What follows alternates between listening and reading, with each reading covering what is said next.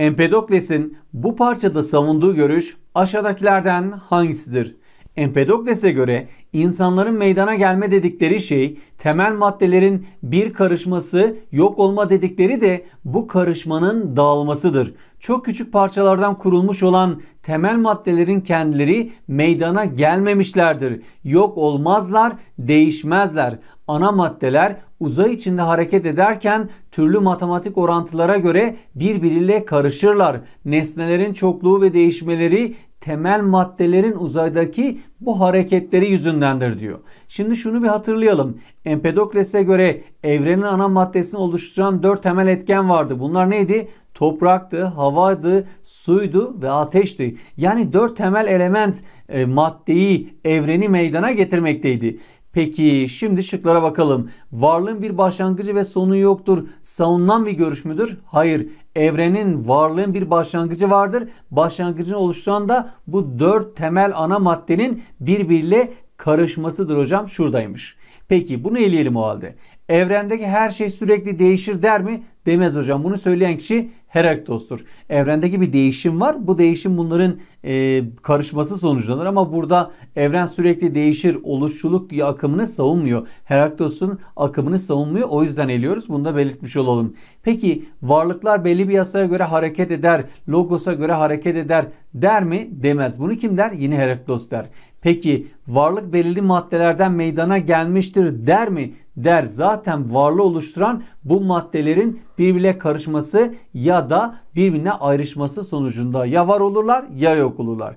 Peki devam edelim. Temel maddeleri bir araya getiren şey sevgidir der mi? Bunu yine Heraktos der. Sevginin bir araya getirdiğini, nefretin ayrıştığını söylüyordu. Heraktos'un üç temel görüşünü aldığını görüyoruz. Cevap net olarak deniz olduğuna göre ikinci sorumuza geçiyoruz. Bu parça aşağıdaki felsefe problemlerinden hangisiyle ilgilidir? İslam kelamcıları insanın bilgi edinmesinde akla önem vermekle birlikte akıl bilgisinin nakli yani vahiy bilgisinin önüne geçemeyeceği görüşünde birleşirler. Çünkü onlara göre çeşitli nedenlerle aklın bir sınırı vardır.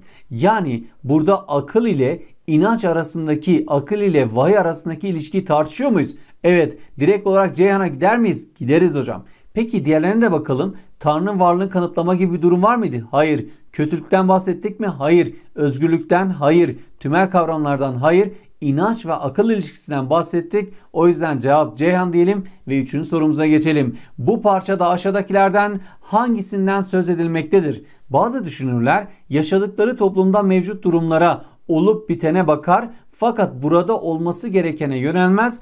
Onlar burada olup bitenlerin bir takım olumsuz yönlerini hesaba katıyorlarmış ve her şeyin yine aynı seyri izlemesi durumda gelecekte şunlar şunlar olacağını tasarlıyorlarmış. Tasarı varsa Ütopya'ya gidersin. O halde şunları ele gitsin. Peki olumsuz durum varsa sevinç yani olumlu ütopya mı gidersin yoksa olumsuz olan korku ütopyasına mı olumsuz olan korku ütopyasına gidiyoruz değerli arkadaşım.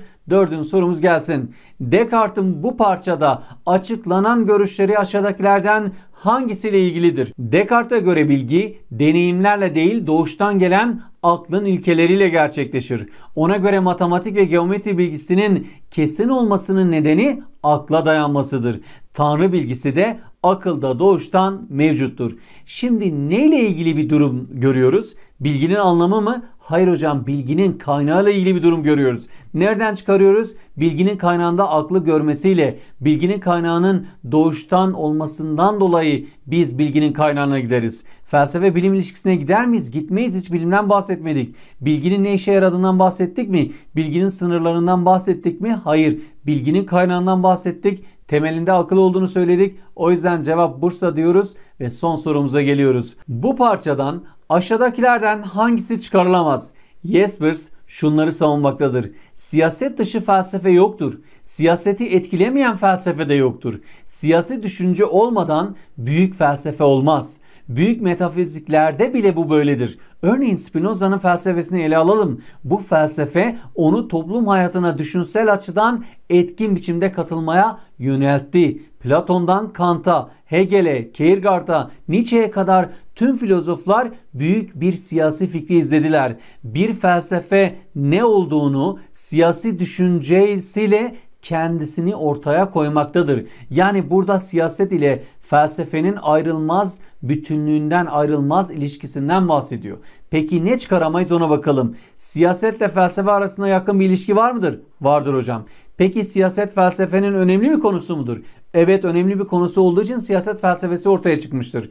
Peki felsefe siyaset üzerinde etkili midir? Etkilidir. Burada birçok filozofu gördük ve büyük bir siyasi fikri izlediklerini de gördük. Peki bir felsefi düşüncenin değeri siyasi düşünceyle anlaşılabilir mi? Bakın son paragraftan çıkarabiliriz. Anlaşılabilir. Peki felsefe siyasi hayatı düzenleme amacıyla mı ortaya çıkmıştır? Hayır ortaya çıkış amacı bu değildir. Cevap net olarak Edirne'dir. Ne diyoruz slogan olarak? 5'te 5 yapıyoruz inşallah. Kendinize iyi bakın.